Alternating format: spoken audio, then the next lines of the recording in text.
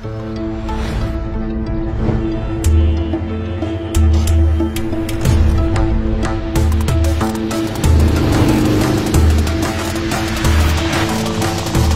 থেকে বাইরে মারিয়া। এখন পর্যন্ত টয়লেটে যায়নি একবারও।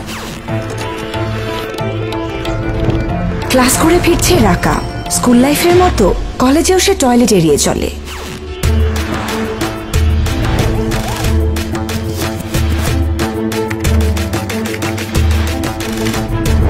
একটার পর একটা ফাইল চেক করছে সাবা।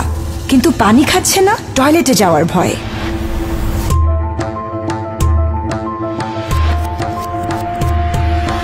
অনেকক্ষণ ধরে কেনাকাটা করছেন মিসেস আয়েশা।